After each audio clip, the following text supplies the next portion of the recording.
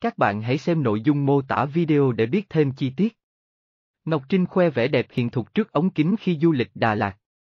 Vài ngày trước, người đẹp quê Trà Vinh bị trộm đột nhập biệt thự ở thành phố Thủ Đức, thành phố Hồ Chí Minh cũng bộ sưu tập đồng hồ xa xỉ khoảng 13 tỷ đồng.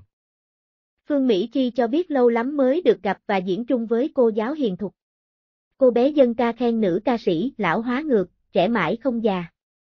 Hơ hen nie cá tính với trang phục và kiểu tóc tôn màu nổi bật. Ca sĩ Thủy Tiên háo hức khi chồng khoe có quà bất ngờ tặng vợ, tưởng sắp được tặng nhẫn kim cương. Thực chất, thứ cô nhận được lại là một quả sầu riêng hạt lép. Công Vinh nói quà cho vợ nhưng anh đã bóc và ăn trước nửa trái.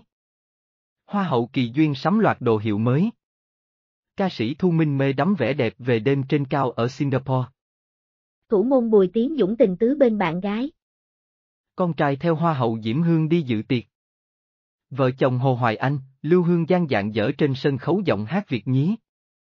Vóc dáng mảnh mai của mẹ hai con, Diệp Lâm Anh. Hà Mi